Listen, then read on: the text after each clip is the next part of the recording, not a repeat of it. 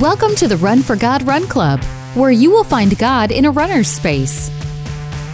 Welcome back to the Run for God Run Club. This is your one stop each week to be motivated and inspired to get off the couch and onto the running trail where you can, in turn, inspire others to do the same. Let's learn, laugh, and leap into running together, giving God the glory for what we are able to do in His name. Amen. Well, I am your running host, Dean Thompson, coming to you from the Upward Sports Studio once again. Hey, do you like checklists? We hear variety is the spice of life, but sometimes being routine is a good thing. And we're going to share a story about that today that not only tells you why it's good, but gives us some instruction as to how to do it. And then I'm going to address one of those automated responses we often have to the question, How are you today?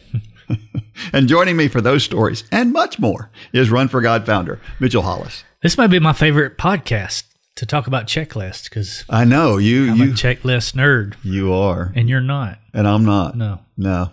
Well, I am sometimes. Depends on the depends on the application. Yeah. I don't like checklists for the checklist.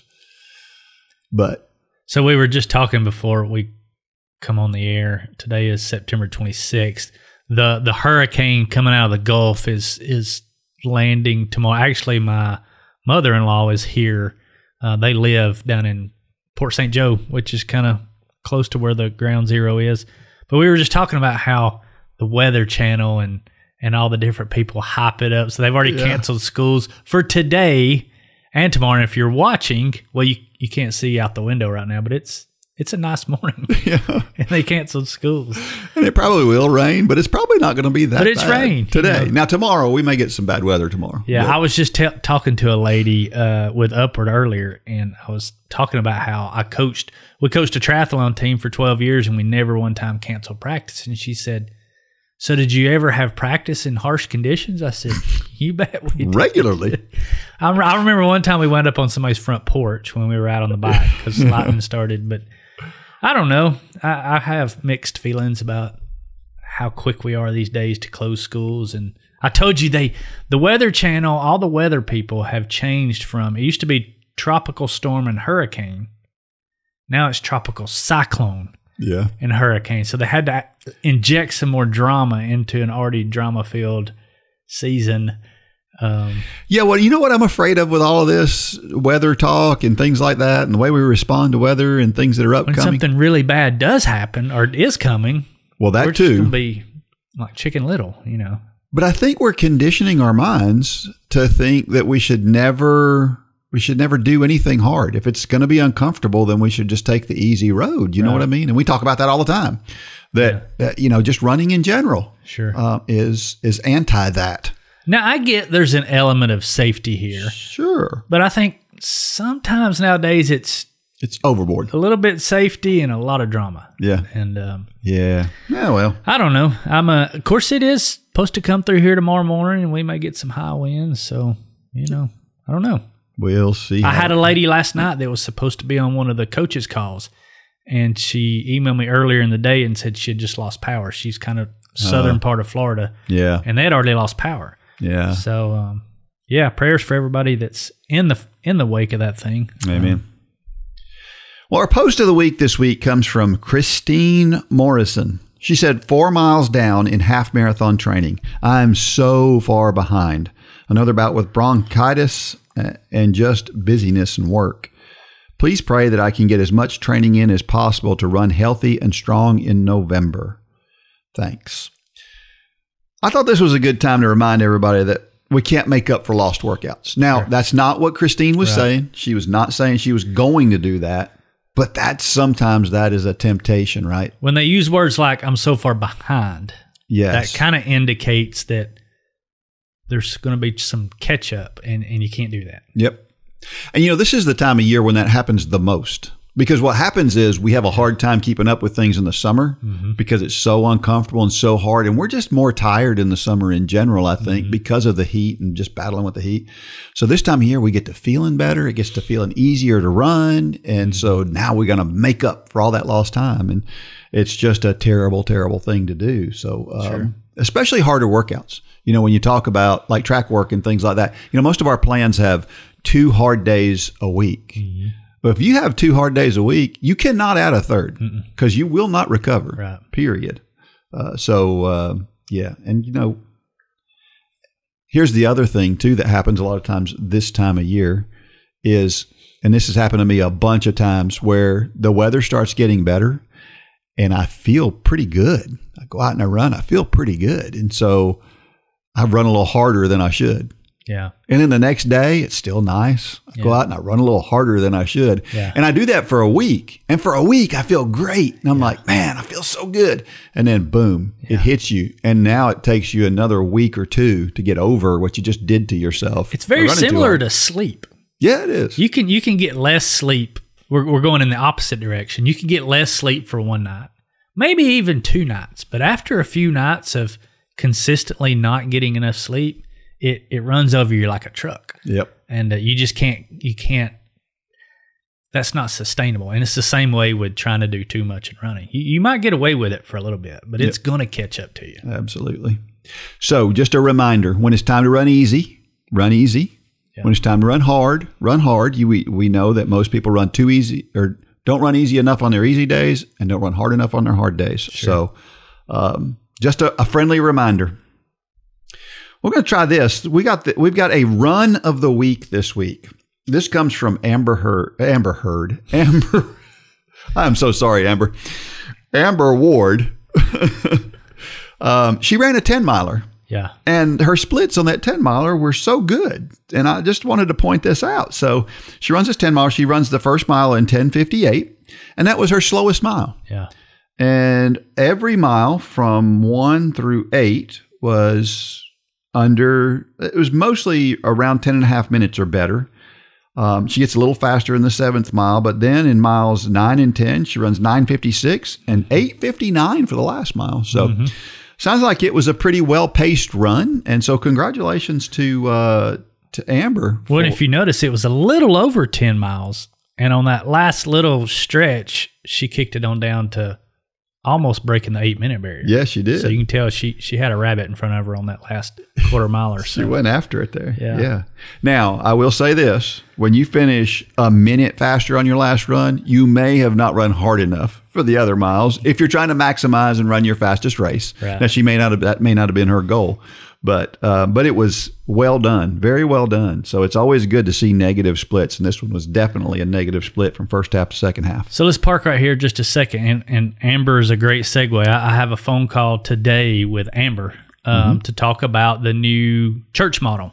So you've heard me pound this drum, and I'm going to continue to pound this drum. I bet I've met with no less than 45, 50 people now about the 5K challenge church model that's coming back that uh, many people are starting on January the 13th of this coming year.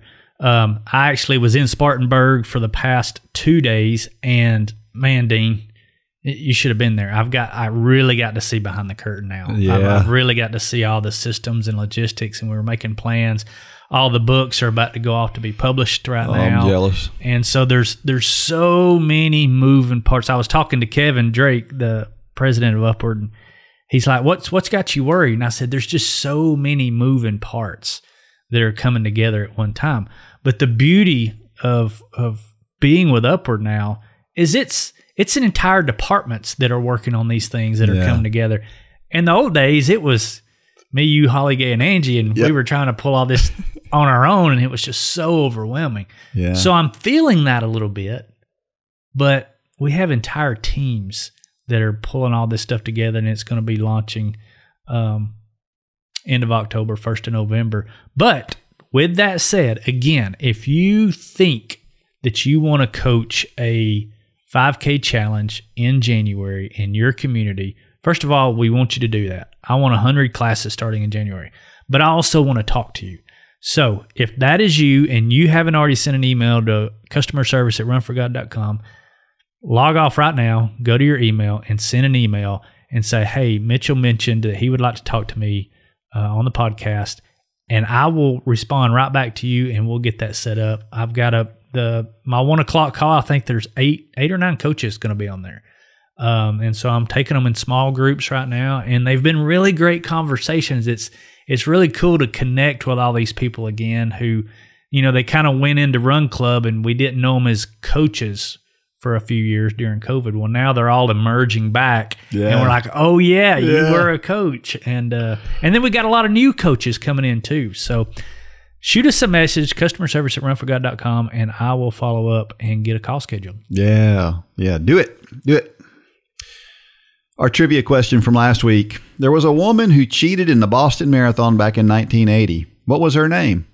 Pretty simple, straightforward one. This is, of course, a lot of people know this name, Rosie Ruiz.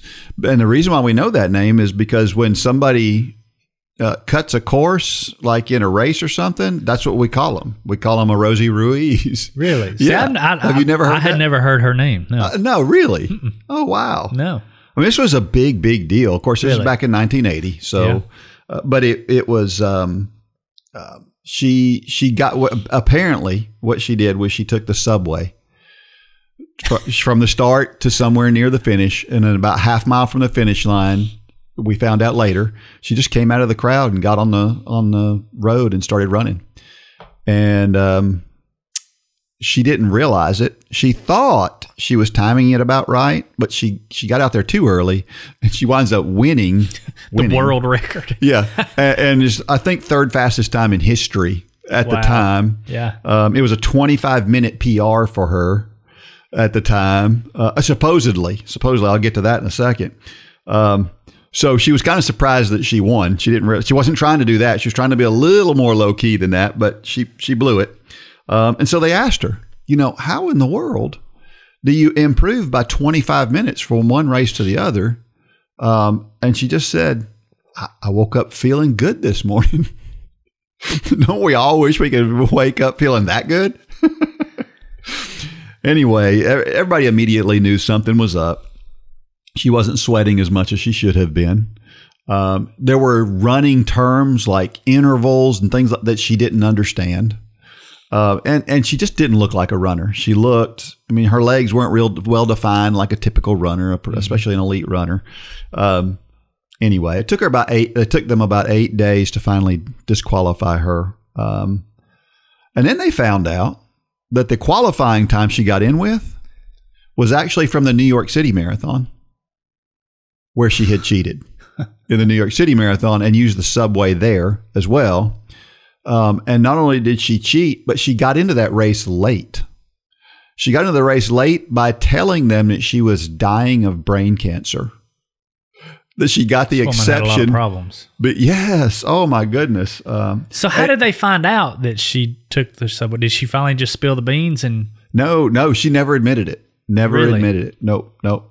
But there were there was a lot of evidence um, after the fact. Uh, people saw her actually saw I was going to say a lot of people in the subway were like, "Who's this sweaty lady with a bib getting on the subway? What what is this all about?" Well, and once they saw her on television at the Yeah. Boston Marathon, they realized I remember seeing her on the subway. Yeah, Yeah. So anyway, she didn't die until 2019. So she she hung around for a lot longer. She obviously didn't have brain cancer. She was later convicted of embezzling money for the company she worked for, and then she was involved in some cocaine arrest. And I mean, she's then she the next year she got married, had three kids in in less than three years, and then got divorced.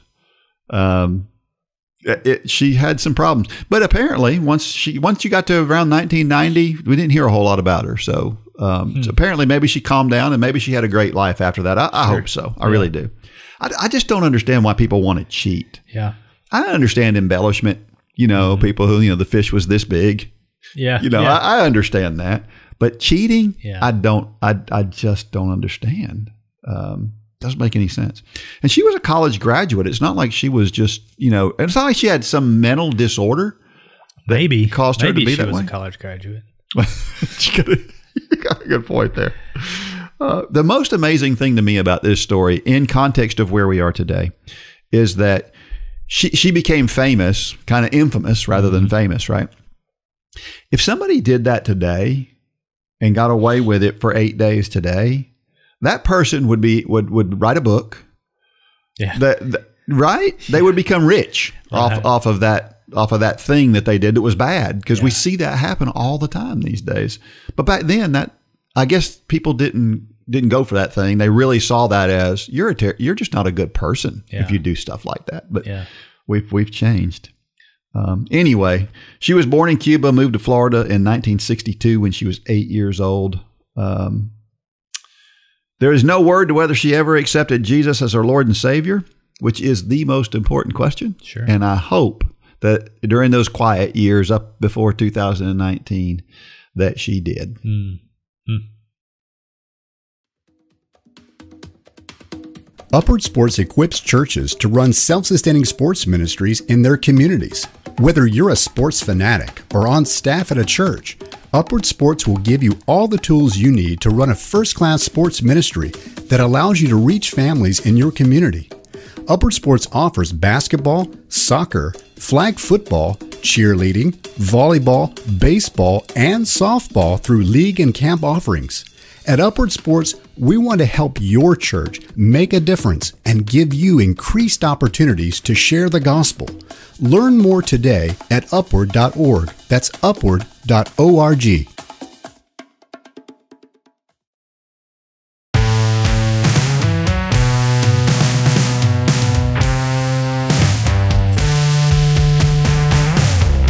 Funny story from yesterday. So, you know, I work with the sound at, at our church.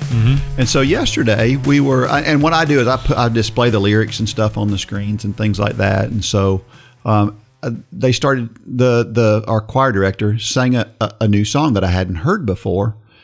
And um, of course, I didn't have the lyrics for it. And so um, I said, well, I said, "What- what's the name of that song? And he told me. And so I, I, I sat down. I started to type it, type in that song so I could find the lyrics for it.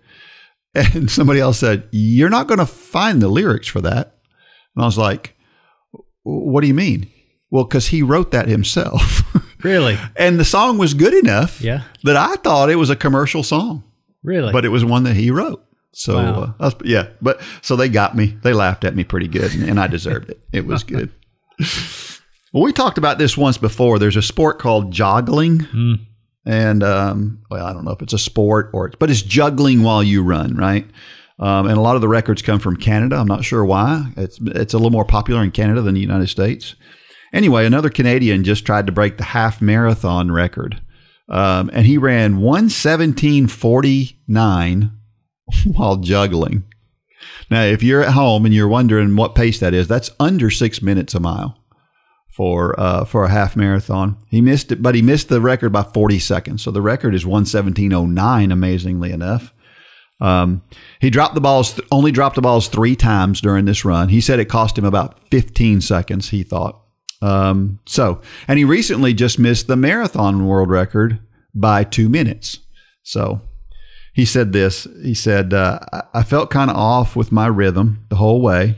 I had heard, I had a hard time just zoning out and letting time pass.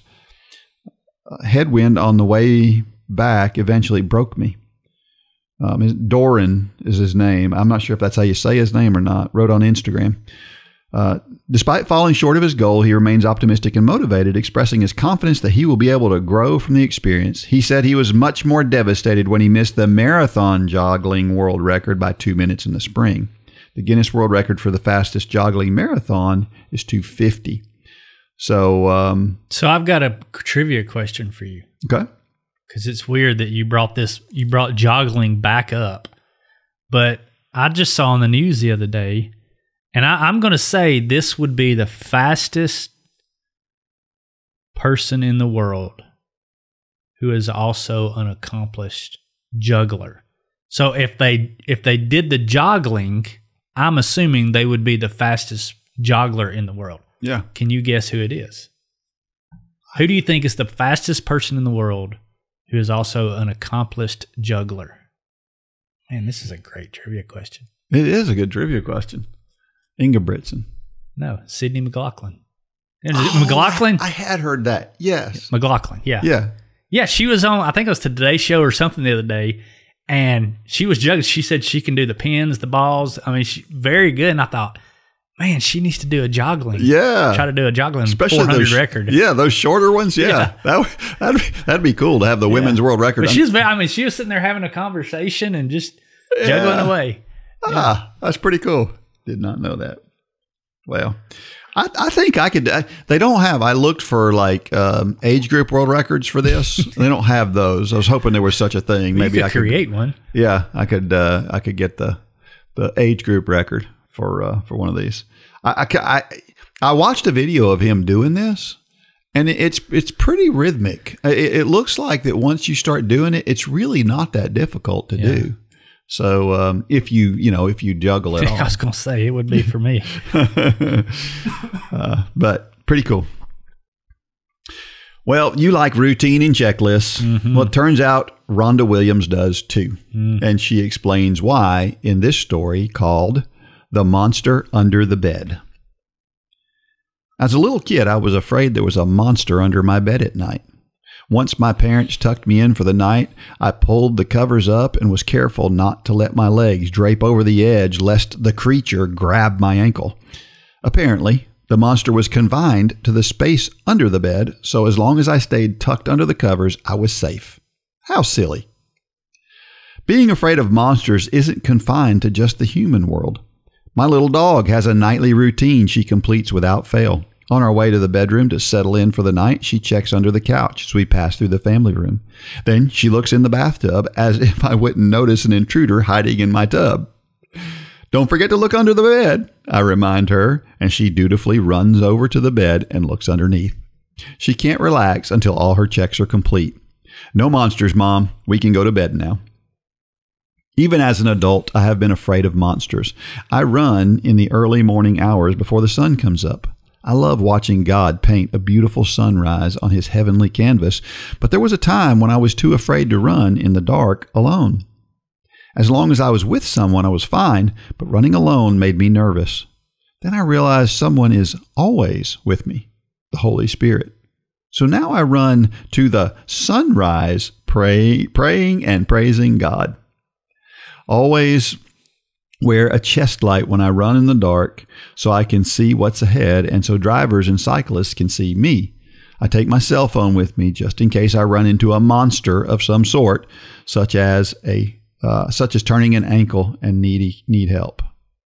Just like my little dog, I have a nightly routine too. I check to make sure all the exterior doors are locked, turn on the porch light, and make sure that, yes, I actually did turn the stove off. Turning on the porch light and looking and locking the doors is a deterrent for would be thieves or monsters, and leaving the stove on overnight could lead to a fire, an even bigger monster. This checklist has become such a habit that I rarely forget, but when I do, I head back downstairs to get it done. I know that if I don't carry out my checklist, I will lie in bed staring at the ceiling, wondering what if, instead of drifting off to a peaceful sleep. I wonder if that's what my little dog is thinking too. A morning checklist can help us prepare for the monsters lurking in our day. A spiritual routine performed first thing in the morning will shift our focus to God and away from our fears and doubts. Reading the Bible along with time spent in prayer will give us strength and encouragement so we can step into our day with confidence. Proverbs 4:27 says, "Do not turn to the right or to the left. Keep your foot from evil." Fixing our eyes on Jesus first thing will keep us on the right path and we will be less vulnerable to the distractions and temptations of our culture. Just as I covered myself with the quilt on my bed for protection before going to sleep as a child, I cover myself with the Word of God before going out into the world. Steps to creating a spiritual checklist. It's helpful to write out a list and place it where you'll see it every morning. Use the list to remind yourself of what you decided you want to do. Eventually, it will become a habit, and a written list will no longer be needed. A few items to include on the list. Number one, prayer. Express thankfulness, confess sins, and ask for forgiveness. Ask God to help you to focus on Jesus throughout your day. Number two, read a devotion or Bible study. Number three, read scripture. Number four, meditate. Perhaps meditate on how to incorporate the scripture passage and or the devotion into your daily life. And then number 5, journal. What have you learned? How is God speaking to you? Beginning the day with Jesus gives us strength, encouragement, and confidence we need to face the day. A heart full of Jesus means a heart full of peace. A heart full of peace leaves no room for fear. When my feet hit the floor every morning, I want the monster under my bed to say, Oh crap, she's up. It's a great story, Rhonda. So, are you one of those people that I do exactly what Rhonda does at night? I go around, check all the doors, make sure the lights are off and on, what which ones need to be. I have the same lights on in my house every night.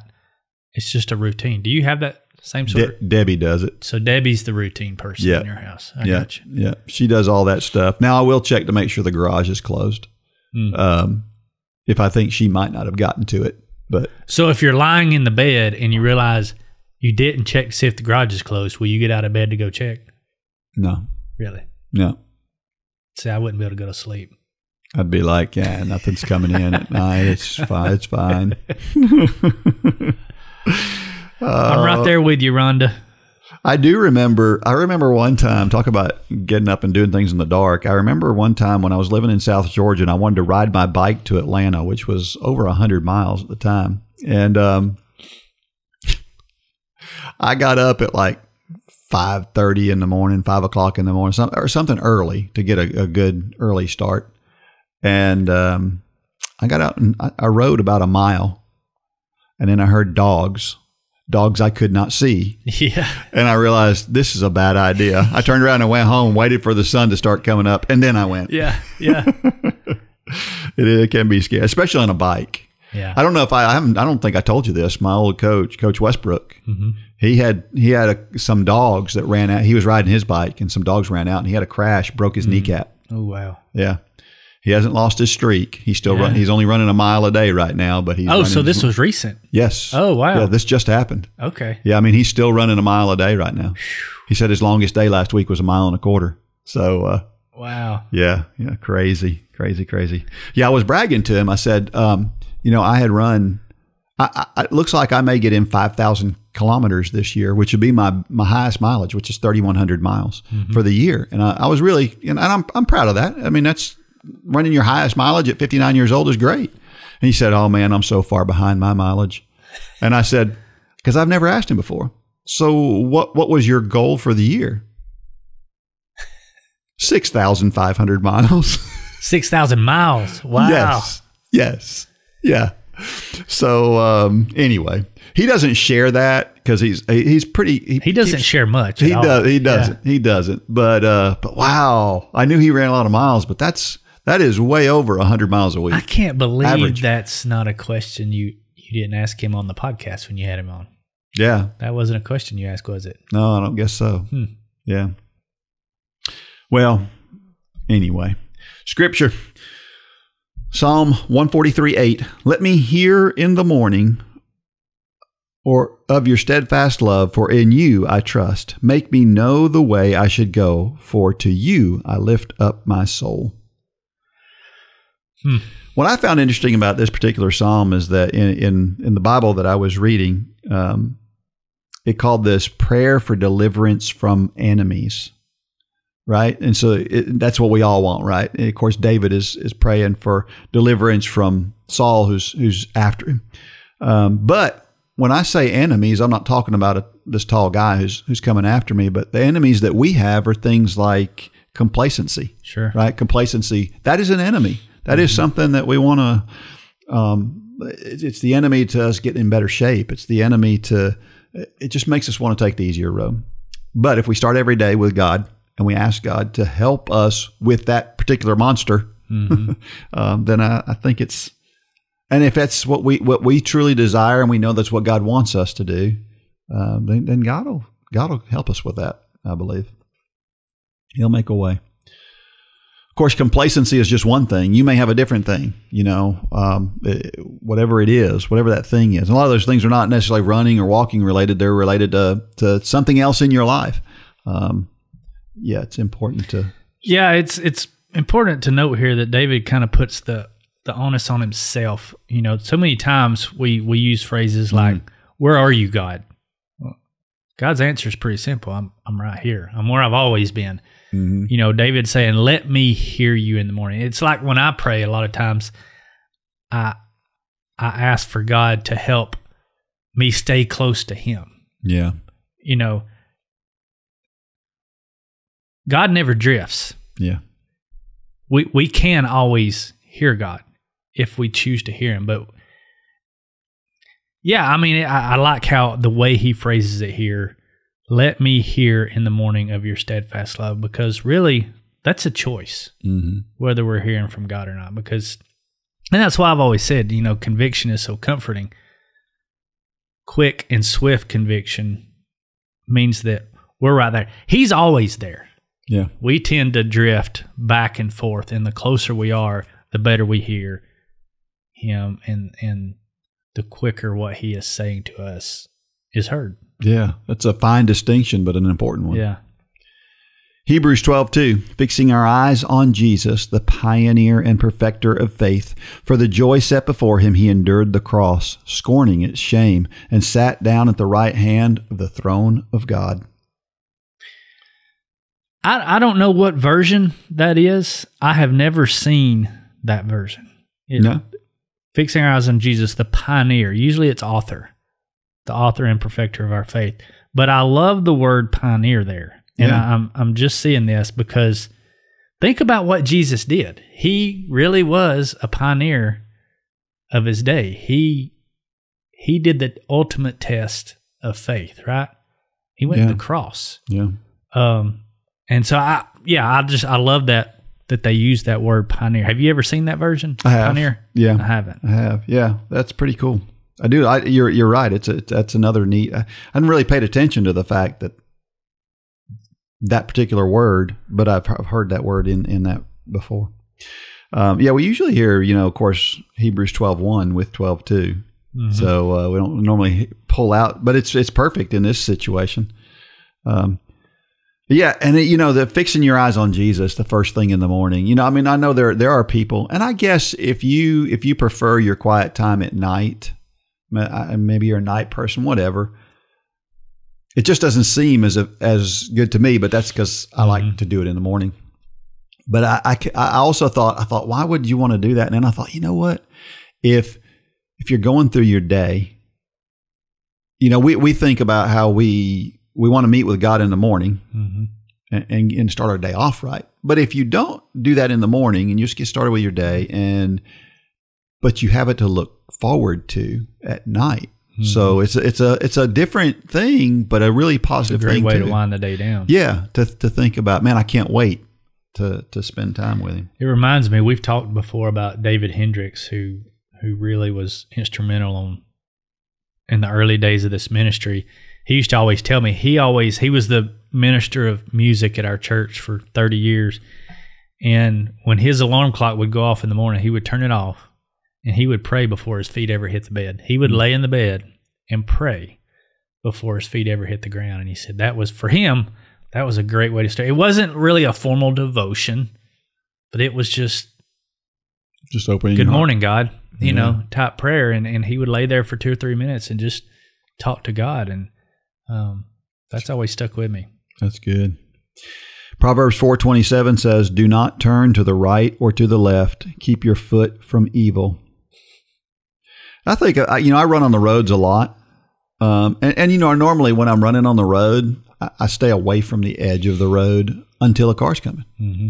When a car's coming, you know you move over and you get as close as you can, and you got to be vigilant, right? You got to be very careful because all you got to do is step just two inches to the left, and boom, you you turn an ankle or something like that. So I have to be much much more cautious then. Um, and I think you know what Solomon is telling his son here um, is that he needs to stay away from the edge of the road. you know, um, you, you know when, when now we're sometimes we don't have any choice but to be close to the edge of the road. Just like when I'm running and the car's coming, I don't have a choice. I have to do that. But um, when I when the cars aren't coming, especially on our rural roads around here, there's not much traffic. Um, then then don't don't run what that far over. Mhm. You know, give yourself a foot or two Yeah. of of clearance. Um, so, and that's this goes to everything that we do, right? Just keep yourself away, from, whatever it takes to keep yourself away from whatever tempts you, Mm-hmm. right? It's we talk about, you know, the the Reese's cups. You know, Yeah. the easiest way to keep away from those, especially at home, is to not have them in the home, Exactly. right? So keep yourself away. That's an ongoing problem for some reason. I don't know why I had a different picture here. I kind of snickered when you read it because the picture came to me immediately.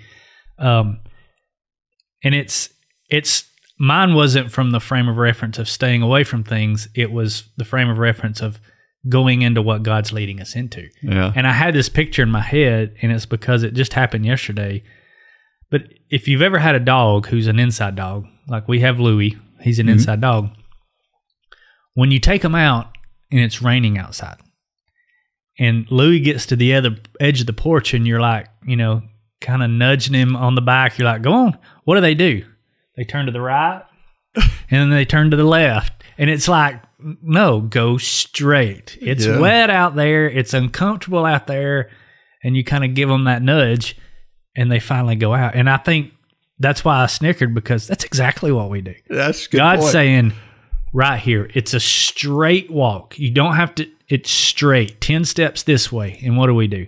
Turn to the right, and then we turn to the left, and God's nudging us on the behind sometimes, saying Yep. it's right there. It's it's going to be uncomfortable. You may get wet, but it's the right thing to do. Yeah, You know, it's a good. You won't wet the bed that night. You know, whatever it is. um, I, like don't know why that that illustration popped in my head. I like it though. Question: What are you afraid of? That's a pretty wide open question, right? Yeah. You know what scares me the most of, of anything that, and maybe it's maybe part of it right now is because uh, I've got some really close friends who are going through this, but co- cognitive disease, Yeah. the the idea of losing my mind, um, worse than I already have. Uh, you know that that scares me as much as as much as anything. I can't imagine that. I was talking with somebody whose mother is going through this, and she was talking about how every once in a while her mother realizes what she's going through, Mhm. and she just cries. Mhm. And I can imagine how that would be so hard to go through. Yeah. To know that you're you're not recognizing people that you that you know Mhm. um, would be really tough. So that I guess once you get once you get past that and you're just you really don't recognize people, it's you don't know. So I don't know, but the idea of losing my mind just man. But you know what the Bible says? The Bible says nothing can separate us from the love of God. So even though even even though that's, that's a fear that I have, I can take comfort knowing that even if I go through that, like you just said a few minutes ago, God God's there Mhm. right? And he's going to be there. Um, Yeah, I think for me, I I don't typically fear things that are right in front of me. I, I don't know why that is. I fear things that are way out there that may or may not happen. I, I'm a I'm a I tend to be a doomsday type. I, I keep saying the older I get, the more prepper I have in me. I play all these scenarios out in my head, and I guess it comes back to my planning side. You know, I want to be Yeah. ready for any scenario so that when the scenario comes, I usually am ready. Yeah. Once it gets here, but in doing that, I planned for ten scenarios, nine of which didn't happen, Yeah. and that's exhausting sometimes. yeah, Um, I mean, just even though we were making fun of the weather, this is what I did yesterday. We were, I think it's ridiculous how overblown the weather is. But guess what I did yesterday? but I went and got the generators. Yeah. I filled every one of my gas tanks up with gas, and I got the our little handheld lights down from the attic in case the power goes off. yeah, And at the same time, I'm saying this ain't gonna happen. This, but I've played it all up in my head like we're gonna have trees down everywhere. We're not gonna have power, and if if all that happens, I'm gonna be glad I did what I did. But how much of that is me overreacting, and how much of that is fear? And a lot of it's just it is. It's just fear. I don't yeah, I don't want to be back 700 feet off the road with 32 pine trees down with no power and no gas. I, you know, yeah, it's not like I can I can actually walk to the road if Yeah. I need to. yeah, But it's like in my head I'm I'm five thousand miles off the road. yeah, You know, we're gonna have one million pine trees down across the driveway, and I'm gonna have to fend for myself for the next three years. That's how it plays up in my head. Yeah, yeah. We just make a bigger deal out of things than they are a lot of times. A mountain out of a molehill. That is true. That is true. You know, I remember there was a time when uh, when it would have scared me um, to not be able to run. Hmm. Like you know, not not in a not in a terrible terrible way, but just the idea of not running is just so. I mean, it'd be like, what's left to live for? You know, Yeah. that's the way I was at one point. And today, I think if I couldn't run tomorrow, you know, my attitude would be, well, what's God got planned for me instead? You know, and, and I could handle it. And I got thinking about how many days of my life have I run? And you know what? I don't even know if I've run half the days of my life. Right. I've run every day for 13 years except one. And I don't even know if I've run half the days of my life. Does that surprise you when I say that? Yeah, But- until you really start thinking about it. Yeah, when you start thinking about it, Yeah. you realize running's not as big a part as you make it out to be. Because you t- take the 13 years I've run pretty much every day. Well, the first 14 years of my life, I didn't run at all. yeah, I mean, I did some running, but I didn't run to run for 14 years. So that thir- this last 13 years just made me break even on 50 50. so it really comes down to how, how much did I run between 15 and 40, 40 some, 45. hmm And um, did I run half the days? Probably right around that. So I've only run half the days of my life. So I don't know what I'm so worried about. Do you have a morning routine to get your day started on the right foot? I do. Yeah, I'm a. If you've never seen this video, I encourage everybody to go watch it. But I'm I'm a make your bed type of guy. I can't just like I can't go to sleep if I haven't checked the front door. I can't walk out of my bedroom unless the bed's made. Um, there's a great video. Uh, it was a Navy SEAL commander, uh, and I found out he he's a went to the University of McRaven. Texas. Yeah, McRaven. Yep. Um, I watched a special on him here a while back, but he talks about he, he gave a speech, a commencement speech at a graduation ceremony with for the University of Texas, and the title of it was "Make Your Bed," Yep. and he talks about how those those small wins every day is what sets the tone of your day and ultimately your life. And so for me, and, and we've taught our kids, you know, we've taught all the triathlon kids. It may not be make your bed, but do that one thing every morning, which is a small win. Yeah. And because I have, I've left the house like in a rush before and didn't make my bed. I feel like my whole day was just Yeah. horrible Yeah. because I didn't make my bed. Um, so Rhonda, yes, I, I make my bed every morning. I I turn both lamps on on both sides of my bed. The blinds are set the same every day. It's that morning routine for me. Yeah. I don't walk out of my bedroom until all that's done. Yeah. Well, you know what? We make our bed, but here's the way Debbie and I do it. So I get up before her almost every morning. Right? and but it's not very much before her. But I get up, I make some tea, I have my uh, some my, my blueberries and uh, oatmeal, and then I know exactly what time she's going to get up, and so I walk back into the bedroom when she gets up, and we make the bed together. She makes her side, I make my side. it's like a routine that we do every day. Yeah. Yeah, but it's kind of fun Yeah. to, to do that. So And see, I make the bed down at night too. I'm like, I'm like, Holly, Holly laughs at me so much because you know I have to, I fold, even though we're about to get in it, I have to fold it down just right. This is my OCD coming out. I have to fold it down just right, pillow stacked up just right, turn the certain lights off.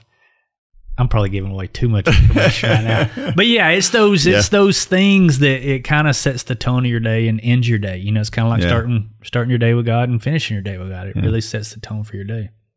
Yeah, well, and you know, with today's resources, we don't really have a good excuse not to start our day off well. Right. You know, one of the things that I've done now, this is my my second year of listening to a Bible in the Year podcast every Mm-hmm. day, and I do that every day. and I, I enjoy it, and it it you know I can go downstairs and I can feed fish and I can do, I can do other some other stuff while I'm doing that, and uh, it's it's there's no excuse nowadays Sure. not not to do it.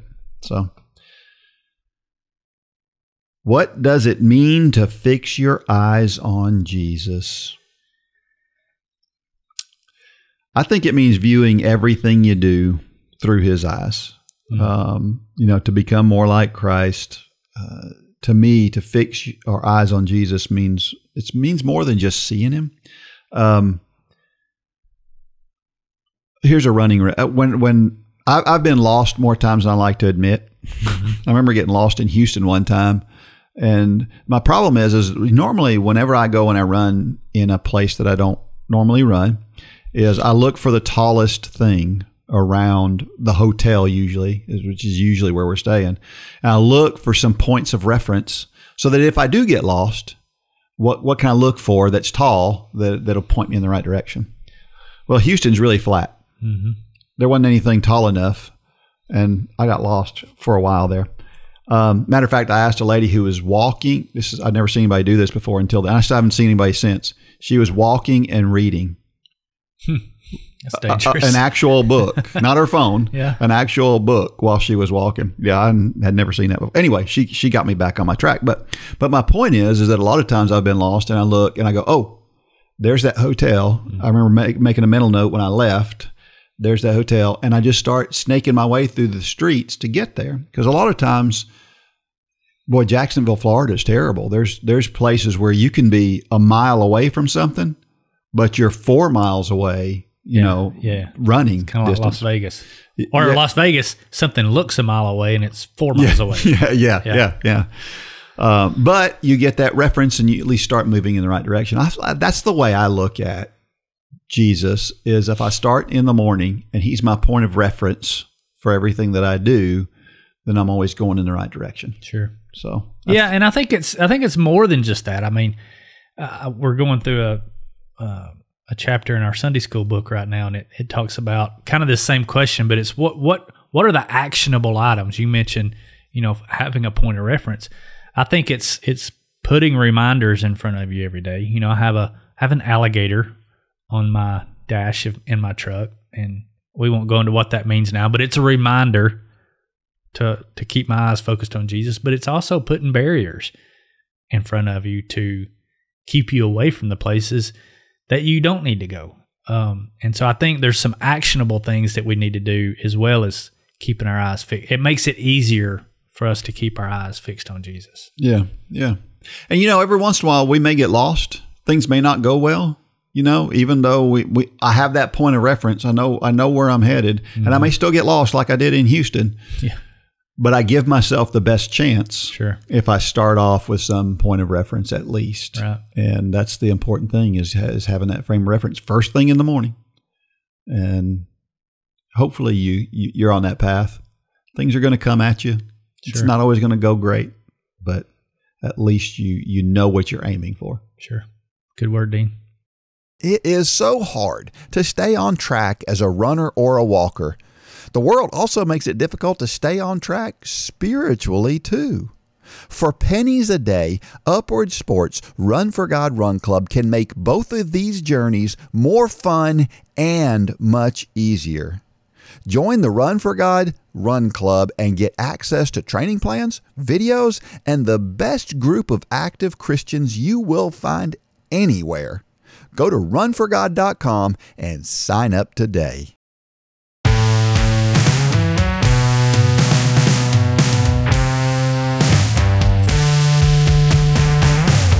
All right. Well, how about an update on something we talked about last two weeks? You know, we talked about who would be the best 5K runner of all of our presidents.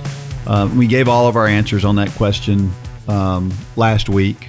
Um, but I got this email from Rich Glass, a Run Club member, um, and he had this link to this article. It was written in 2002, and it was a Runner's World article interviewing George W. Bush. Um, and I, this was great. So he, I just wanted to read some quotes from that particular article. Um, there were headline, there were like these, I guess, questions and then his answers. What running does.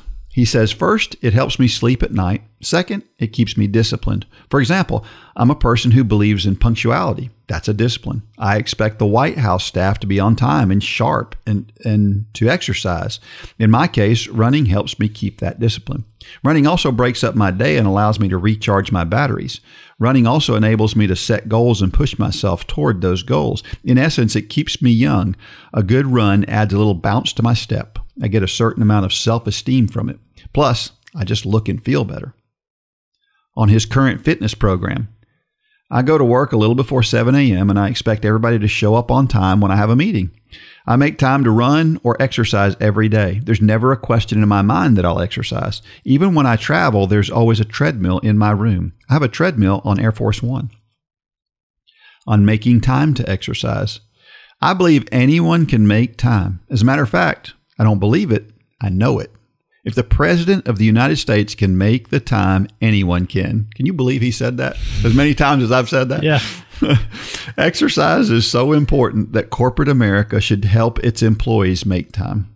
There should be flex time for families and there should be flex time for exercise. A healthy workforce is a more productive workforce. We have to go we have we have got to do a better job of encouraging exercise in America. So I set my sights on the Houston Marathon, which gave me some more time to train. I ran it in 344. I ran the first mile in 8:30 and the last mile in 8:30. It was one of the great experiences of my life. I learned that running can make you feel 10 years younger the day of the race and 10 years older the day after the race. It's well put. the one on the 100 degree club it started during the campaign. It was August and well over 100 degrees. We landed in Crawford and I said that I had to go for a run. I knew if I didn't get it in, then I'd never do it. So, as I recall, there was a change of shift of the Secret Service agents, and I just told them that we should all go for a run right then. So, both shifts of agents went right with me in the heat. And afterward, I had 100 degree club t shirts and certificates printed up and gave them away to everybody who went with me. That's hilarious. That's wow. pretty cool, huh? Yeah. So I, uh, a treadmill on an airplane. Yeah, that's an interesting concept, isn't it? Yeah, I, that's I thought that too. I don't know what that uh, you know those little dips and every that you get every once in a while. Man, I would love to see his his Garmin after you know. Yeah, five hundred miles an hour. You know, did a five k in thirty seconds. uh, Well, I didn't realize. I knew he was. I knew he was a runner. I didn't realize how avid he was about it. Um, he said that he would run three miles a day while while he was in Washington D.C. He would run more than that when he was outside Washington D.C. and he would run it in twenty thirty to twenty forty five typically. That's pretty fast. That's under seven minute pace. Yeah, and um, I think if he could do that, then my prediction of eighteen fifty one, I think it was right in line. I think I I think I nailed this one. Is what I'm saying. Yeah, so. yeah. And he didn't even talk about the mountain biking. Of course, I bet he didn't do a whole lot of mountain biking while he was president. Yeah, I don't know. I don't know. But did he do the marathon while he was president? Uh, I man, that would be a Secret Service nightmare. Yeah, it would, wouldn't it? I don't know if he did that then or not. No, no, no, no. He did the he did the marathon in 1993. Okay. Because he he started training for the marathon because he was a little frustrated mm. that his father didn't win the presidency. So it was in 1993 that he did that. That would be cool for a president to go undercover and run a marathon because you know they could pull it off. Yeah, you know, yeah. get a wig or whatever and sign up as an alias, and then get to the finish line, and then take it all off and say surprise. yeah, that'd be, that'd be great. all right, it's a time for Dean's thoughts. That's a time when I share something I've written about the intersection between running and faith. When somebody asks me, How are you? I usually say, Just right. But that's not a typical response. Many people respond with, I'm tired. Well, let's talk about that. Hmm. This one's called, I'm too tired. Are you tired? I thought so. Do you know how I know you're tired? Because everyone is tired, or at least that's what most people say. It has become a reflex answer to the question, How are you? When you wake up, you have a full tank, or at least a nearly full tank, of energy. As soon as you get your day started, you begin using that store of energy. It's simply the way the body works. It happens to everybody. There are no exceptions. At some point, you're faced with the question Do I use up all the energy in my tank, or do I save it for something else? Many of us will choose to overprotect that energy instead of burning through it. I'm too tired to run today. It was a tough day at work. But am I too tired or do I have some primal instinct to protect the energy I have left? Usually it's the latter. The more insidious excuse is, I don't have enough energy to go for a run. If we're not convincing ourselves we need to preserve energy, we're convincing ourselves that we don't have enough energy. Like we're going to run out of gas in the middle of the running trail and we'll fail to make it home. I don't have to tell you how silly that notion is, yet it persists. But here's the thing everyone who has ever done something special has had to go deep into the energy tank. Everyone who has ever completed a marathon has had days of training when they didn't feel like going out for a 10 mile run. And I have never heard any of them say, I wish I had saved my energy for more during energy more during my training. Sometimes they'll even point to one particular day when they had to overcome the desire to save energy and stay home instead of going for that long run. Don't give in. Some days you need to use all the energy in your tank. Do it. It'll be worth it. Imagine how tired Job felt. Every day was worse than yesterday. I don't know about you, but the worse things seem to be going for me, the more tired I feel. Imagine Job, day after day of pain. Yet every day he got up and decided that this day would be better. He didn't use the excuse that his tank was empty. No matter how bad things got, he found the energy to praise God. And in the end, it made all the difference. There had to be days when he wanted to pack it in and give up, but he didn't. So, what are you going to do? Are you going to use the energy you have every day, or are you going to leave some in the tank just in case you need it for something else? That just in case will rarely come. And even if it does, you'll find the energy you need to get through it. So don't save up. Empty your tank regularly and you'll find out it is worth it. That's a great story, Dean, first of all. And second of all, it, it made me think about um, I know batteries aren't this way anymore, but if you remember the early days of like cell phone batteries, Nickel cadmium batteries and yeah. if you didn't if you didn't use all of the battery and you just used like half of it and plugged it up, the battery life became less. It it before you know it, the time that you were plugging it up would be the only time you got it. It actually got less. Running doesn't do that. R- Yeah. Running wants you or fitness or exercise. The goal is to drain it every day because it not only it not only stays off that nickel whatever battery you said that it gets less every because that's what running can do. If you're just trying to conserve all the time, your energy store is going to become less and less. That's true. less. Yeah. Not only does your energy store say stagnant if you continue to run, you're you're going all the way to. It makes that gas tank bigger. You know, we've we've always we've always said I've there's been runs there's been runs with you where you come in the end of the day and you're just beat, and you go for a run and what happens? You feel better. you got more energy all of a sudden. So, yeah, I hear people say that, and it's it's just not true. Yeah. Running actually, running is kind of like plugging into the wall. It's giving you more energy. Now, sure, you may feel drained, but you're actually increasing that battery size as you're doing it. Yeah. So, yeah, I mean, this is a great a great point you made here, Dean. Yeah, you know, it makes me think, and I've I've said told people this before. I don't know. I don't. know. Do you do you wait till your tank gets pretty low before you fill it up in your vehicle? Me personally, Yeah. no, I'm a I'm a half tank guy. See. I don't, I don't let it get. See, that drives me crazy because my th- my thoughts are this. My thoughts are I'm going to run it down t- until at least I get the warning that says you have 50 miles left. Really? Yes. Uh, I- I'll almost never fill it before then, unless I happen to be at Costco where the gas is cheaper. Then I then I fill it up no matter how much I have in there. But I, I feel like if I look at how much time I spend at the gas station versus how much time you spend at the gas station Mhm.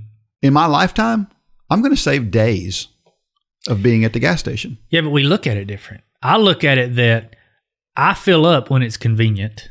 You know, I fill up when it's convenient, so I, it gets down there a half tank. If I've got ten minutes extra, I'll go ahead and stop by the gas station, so that I'm never filling up when it's inconvenient because it never fails. That's a good point. the light comes on the day before, and then the next morning you're running late, and you got, and then you're having to stop at the gas station, and so you're late for whatever. So that's that's the way I look at it. But I see the way you look at it. yeah. We're you're saying we're wasting time. I'm saying I'm using time that was going to be wasted. Yeah, that's a good point. I hadn't So- thought. I hadn't. I never thought about it from that standpoint. That's funny, isn't it? Well, I've never been in that situation where I wa- I was late for something because I had to stop and get gas. So, Really? yeah, I don't ever recall that happening in 40 years of driving Yeah. that that ever happened. So, it's one of those things being prepared for something that's not going to happen. Well, how many times have you sweated bullets? I can remember one time in particular with I was pulling a fifth wheel camper through Atlanta. I didn't stop when I should have and got gas. And I'm coming through Atlanta and it's a diesel truck, so not everybody has diesel. My light comes on. I'm in downtown traffic, Atlanta. You can't just whip a 60 foot rig in somewhere. yeah, And I never want to be put in that position either. that's a good point. Yeah, there are So times. how many times have you sweated bullets thinking, I'm going to run out of gas? Only once. Really? Yeah, one time I remember because of me and my brother and my father were hanging out. We were in the North Carolina mountains, and I thought I had plenty of gas. And we we went out somewhere, and we on our way back, it was getting really low. And I thought I'll just stop for gas. There were no gas stations. I mean, there were no gas stations. Yeah. And then we started going up a mountain. Yeah. I'm like, oh my gosh, I'm gonna run out of gas. And I, was- I got worried. And we we finally we finally found a. Well, I don't see how the people who drive the EVs now do it. Oh, I would be a nervous wreck all the Yeah. time because you can't just whip it into any gas station and charge your car up. There's those are really few and far in between right now. Yep, yep, um, yep.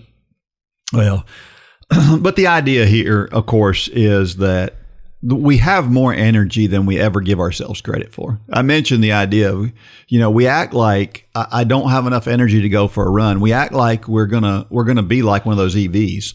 We're gonna go out for a run and we're gonna just be stranded. Yeah. Because I can't get home because I don't have the energy. No, you got the energy. You'll find the energy. Yeah. You'll you'll figure out how to make it And work. it'll give you more energy for the next day. That's right. That's right. Yep. So it's important. Um, yeah, and a lot of times um, the problem with our energy level is just our attitude, sure. right? Uh, you know, when we have that "woe is me" attitude, uh, we're going to feel more tired. We're going to feel like we have less energy. And there's something about George Bush said it. George W. Bush said it. He he sleeps better. There is something about whether it's running or it's working. You know, I'll do this out in the yard. I'll just I'll go and go and go and go and go to where I'm absolute. There's nothing better than laying down at night, absolutely drained. I totally agree. I mean, it's so it's so rewarding mentally. Uh, deep sleep. But physically, you sleep better than you've ever slept before. And you can only do that when you really drain that tank. That is true. That is true. Now, some people will say it's not healthy to drain your tank too much. And there may be some truth to that if you did it for too long, too many days in a row. There's but a recovery period, but it's like a long run. You you don't need to do a long run every day. Right. Every now and then, drain that tank. yeah, I think every now and then you you got to do it. So, so let me challenge you out there if you're listening. Don't use the phrase the next time somebody asks you how are you. Don't use the phrase if you're one of those who does that regularly. Don't use that phrase. Don't say I'm tired. Instead, find something else to say. You know me. Yeah. When somebody asks me, they ask me, How are you? I say, I'm just right. Yeah. And sometimes I'm not just right. Yeah. but I say it, it comes out of my mouth, and it it lifts me up a little Yeah. bit. You you listen you listen to yourself. Yeah. We all listen to our own words. Yep. And if we say we're tired, it's kind of like a self fulfilling prophecy. You're Yep. going to feel tired all the time. Yep. So if you're skeptical of that, try this. Try that. Try not saying I'm tired. Try some some positive phrase and start making that a habit. And tell me if you don't feel better. Same thing with smiling. Yeah, You can you can lie yourself into feeling better. it's true. Put a smile on your face and you will feel better. Amen. There is no better way to start the day than in the Word. Our Bible in a Year challenge is a great way to start the day in the Word as I read through the entire Bible in 365 episodes. I also share running and walking tips each day, as well as encouraging quotes. Choose the self paced challenge so that you can go at your pace. You must be a Run Club member for access to this exciting challenge. So, if you're not a member, sign up today and get started.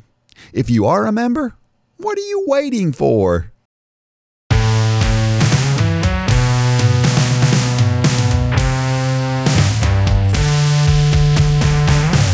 Every week I share a reason why running and or walking are so awesome. And here's this week. I say that it helps with your scheduling and organization. We were just talking about that, right? Well, if you're going to be a runner or a walker, then you got to find time to do it. And we all have these crazy busy lives these days, and it can be tough to find time. But runners and walkers usually find the time. Just like George W. Bush said, don't give me you can't find time. You can. Mm-hmm. And and and so if you're a runner or walker, you you have to be a little more organized to be able to get that in. Um, at least if you're dedicated to it. Um, so it forces you to get creative and makes you realize you can often do more than you think you can do. Well, and I've said, you know, when people talk about I can't find time to do it, I said you you find you find time to go to that ball game, you find time to watch that Netflix series, you find, and it's because mentally you you you categ- and I'm not saying there's anything wrong with watching TV or going to a ball game or whatever, but mentally you some people do it physically. They physically put it in a calendar, or at minimum, they're mentally putting these things into time slots in their day. Mm-hmm. But for a lot of people, they don't do that with exercise. Yeah. They're like, I'm just going to find time to fit it in. You will never fit it in consistently if that's the way you look at exercise. True. You have to catalog it into your calendar every day. Some people, I've, I've told them if you struggle with this physically, everybody has a calendar on their phone nowadays. Yeah. Sit down on Sunday night and say, when exactly, if you're doing the 5K challenge, when exactly am I going to get those three 30 minute runs in? It's 30 minutes. Mm-hmm. It's it's it's less than most TV shows nowadays. Yep you can get that in for sure. Physically put it in your calendar and and make yourself adhere to that. And just like you were talking about with the the list or whatever earlier, eventually you won't have to do that. That's right. Because you'll you'll create that pattern, those those grooves in your brain. That's this is my exercise time groove. It's important, and I'm going to catalog that into my day. Yep. And you'll be successful if you do that. And don't let yourself skip that meeting. Right. Yeah, yeah. Unless something comes up, of course, but you know what I mean. Yeah. Yeah. But just like what do we do with a meeting if if one meeting runs over? We reschedule it. That's right. Yeah. That's right. Yep. Well, here's a crazy story that I absolutely love. Shannon Rowbury, she is a 1500 meter runner from the United States. Um, and back in 2012 in the Olympics, she got she took sixth place in the Olympic finals 1500 meter run. And you say, oh, well, so what? Well, some people have called this particular race the dirtiest race in history. And she just found out 12 years after that race that she is now considered the bronze medalist in that race.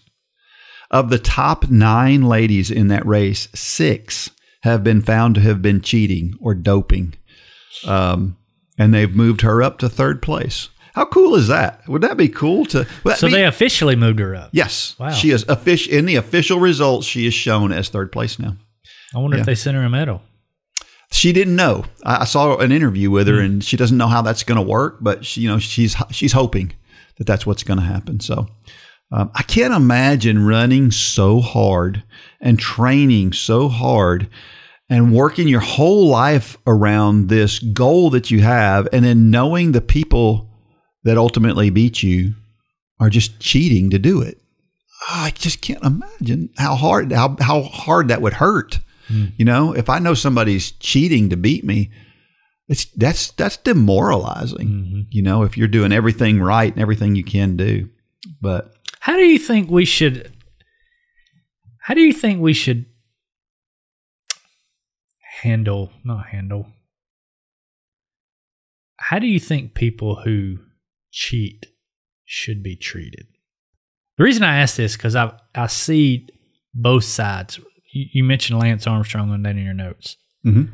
I have a very different um, attitude toward Lance Armstrong. Not that I know him personally, but Lance was very destructive with his cheating. I mean, he he ruined people's lives. Yeah. He bankrupted people. And even after he came out, there was no remorse. There was no sorrow. If you watch his 30 for 30 in the in the interview with Oprah, it was just he's even to the day, he's just a vile person. So I look at him differently. And then there's a young man named Collin Chartier, um, who was a triathlete. Mm-hmm. And he's he was actually on one of Lane's teams um, when he was younger, and it came out he got caught for cheating, and he basically said, "I'm sorry, I was wrong." He left the sport, and even today, I, I follow him on social media, and he's he's no longer in the sport, and he but he's doing other sports now and cycling, nothing competitive, and he'll he'll post something and people just still are piling on him. It's been a year and a half or two years now, and they're just, you're a cheater. You're and cheating is is no different than the bad things you or I have done. That's- that's- and if you have remorse, you've said I'm sorry.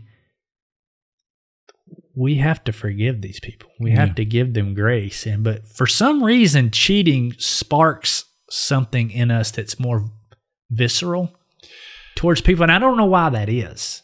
Yeah, you know, if if if I know, I mean, when people cheat on a spouse, for years after that, you don't hear people still attacking them for that. yeah, that's true. We we we move on. They they repented. They said, "I'm sorry." You know, they got a divorce. It was whatever. But for some reason, in the in the realm of cheating, even with the lady that you talked about, hmm even in even today we still you said we still use the term her name when referring to cheaters why do we elevate cheating to something to this like this cardinal sin I guess it's it's just the, the intentionality of cheating. You know, it's Yeah. a long planned out thing. It's one thing to do something impulsive. You Yeah. know, I- get I get impulses, and but the idea of planning out cheating, I think Yeah. I think is is bad. And yeah, the truth is, is our culture today allows so much dishonesty Mm-hmm. in so many ways that yeah, why is cheating still held out to be this big deal? I do believe that we have got to forgive people for mistakes they Right. make. Period. yeah I hate it, hate it, and I don't care which side it's on. In politics, where somebody brings up some something somebody did or said twenty years ago, yeah. That drives me crazy because it's like that was 20 years ago. And and in a lot of cases that person is clearly not that person today. Sure. And and we're going to want to hold something against them. That did 20 and and I just that turns my stomach. And I think it's the same way with with cheating. I think if you cheat I, I think that what what that guy did was colin paid the price i mean he paid the price and he came out and he said and you could tell he had he regretted it yeah did you i mean you've probably you probably read the statement he gave back when he when he came out i mean it was very I mean, and, and some people say, well, you're only doing this because you got caught. Well, yeah, yes. But he got caught. And he, the, the response to getting caught for Lance and him was very different. Yeah. response. Yeah. And I don't know. I just, I feel bad for the guy yeah that, yes, he cheated. He, there is no excuse for what happened. But to keep piling on him all this time later is just, it's out of Uh, line, it feels yeah. like to me. Yeah, I don't like that. I don't like Yeah. that at all. Never have. You know, I thought about this. I thought, you know, uh, at, at my age, I'll be 60 next year. If I took performance enhancing drugs Mhm. for the next year, I could literally be probably I might be I might be I might be able to be the best in the world in 60 year olds. I don't know. I, I'd be I'm close, Sure. right?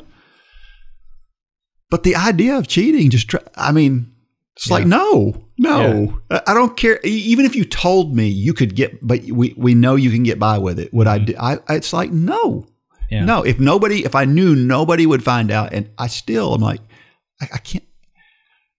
And why? And why is that? Because I think for us as Christians, we know there's somebody else watching, Sure. and so we we've got to be. I think we got to be on guard even more Mm-hmm. than other people do. But anyway, that's just one of those things. Well, we have a uh, half marathon coming up in Wynne, Arkansas. Um, hopefully, um, there, there's still time, I think, to register for that if you haven't done that. And if you can meet us out there in Wynne, Arkansas on November the 3rd, right? So, uh, yeah, and you're going to run that one, right? I'm going to run it. Yeah. It should be fun. We'll get together. We'll we'll do some stuff. Uh, looks like that town suffered a, a tornado last year, Oh wow, and um, they're still trying to recover from it. I mean, it destroyed the school there, the high school there, really? and um, yeah, and so it's a great. It's great to support that community, and um, so come on out and join us in Wynne, Arkansas. So we're going to hit the hundred churches in January again. So for the person out there, Dean, who's saying, "I'm just I'm I'm not good in front of people. I don't know if I that seems really uncomfortable to lead a 5K challenge in my community." What would you say to that person? I'd say do it anyway because what you're going to find out lot, it's like the energy thing, right? Mm-hmm. It's you think you can't do it. You Sure. think you don't have the energy. You think you'll be embarrassed. You think you can't do it.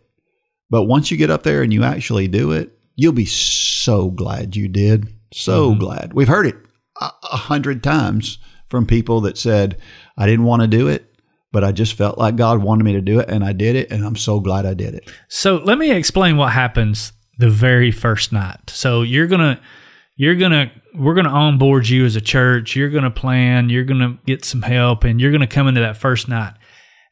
And the moment that is the most scary, if you're not good in front of people, or you're not a public speaker, or you just feel completely out of your element, the scariest point is when you get up in front of the class for that first time. Mm-hmm.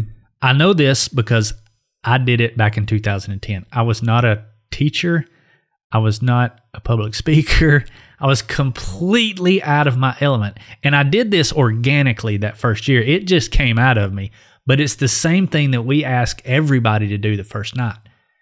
And what happens is the moment you get up in front of that first class, we direct you to ask a simple question to the class Why are you here? And Dean, what that does is it takes it takes it off of you at that Mhm. point because the class is not about you, right? Yeah. I think this is what this is where runners it you this course produces a change in runners that is much needed. Yeah. You know, I, not not saying we as runners are all conceited, but this sport is a pretty selfish sport. And so, before you taught your first class, it was it wasn't anything um, malicious that you were doing. You just you were worried about your times and all this stuff, and and so was I. You know, I wasn't near as fast as you, but we all still want to hit our PRs. Well, what you do that first night when you stand up and you ask that simple question is you take the focus off of you and you put it on your class. And that first class, the stories that I heard over the next, I, I had allowed like five minutes for that question. And I think it went on for, I don't remember how long it went on. It went on a long time. You start to hear the, the reasons why people are there. And in a moment, it changes your perspective and you realize you're not leading this class. You're part of this class. You Yep. you instantly become part of a community of people that you may thought you were already a community of. These are people in your church, but it goes much deeper Does. real quick because you're going to hear about the gentleman who's overweight and can't get around as, as good as he once could and wants to be there for his grandkids. You're going to hear the husband and wife talk about their marriages hanging on by a string and they just need purpose and they need to get off that hamster wheel of life. You start to hear all these stories that lets you know this is why I'm here doing this. And I mm-hmm. want everybody listening to this podcast to experience it. And that's why I'm unashamed to get on here every week and say, you need to teach this class. It's not because I'm trying to sell something. Well, I am. I am trying to sell something, but it's not a product. It's hope and it's a changed life and it's a new perspective on this sport that I want everybody to experience because I know how valuable it is. Amen. Well put. Well, our trivia question for this week um, is a little different. I'm not going to ask a trivia question. I'm going to ask a question that will require you to share your opinion. I don't think we've ever done that before. So tell me who your favorite runner is and why they are your favorite. It could be anyone, uh, but they have to have kind of a running identity. So not just somebody you know who runs, but uh, you know someone who has influenced you, or it could be a professional runner. It could be any just a runner, somebody who is a runner who um, is your favorite and why. And and again, we'll do like we did last week. On Friday, I'll take the responses that I get and I'll pick the one that basically moves me the most. And then uh, that. That person pretty deep, Dean. will win $20 off in the Run for God store. So get to writing some good responses. Do you to have that. a person in your head? You know, it depends on which direction I go. Whether I go to my favorite runner as far as from a competitive standpoint, Mm-hmm. or my favorite person who influenced my life as a runner. Because then there's you know there's only one guy that, Richard. that it could be. Yeah. Uh, so, yeah, Hmm. That'd be good. That'd be good to, to read those responses. I'd like to see that. yeah. So send those responses to Dean at runforgod.com. Uh, remember, you have to be a member of Run Club to win, but uh, we'd love to hear responses from everybody. So Sure. uh, send those to me and um, win $20 in the Run for God store. Our motivational thought of the week comes from Thomas Aquinas. If the highest aim of a captain were to preserve his ship, he would keep it in port forever. That's good. We've heard different. We've heard this quote in different ways, and um, it's it's just always a good one. You know, we're meant to go out and we're meant to do hard things. So, go out there and do them. Become a coach, and you can help other people do them too. While you're doing it, yeah. Yep, Sure. It'd be great. And until next week, may God bless every step of every run and or walk. Go out there and shine your light. Good job, Dean.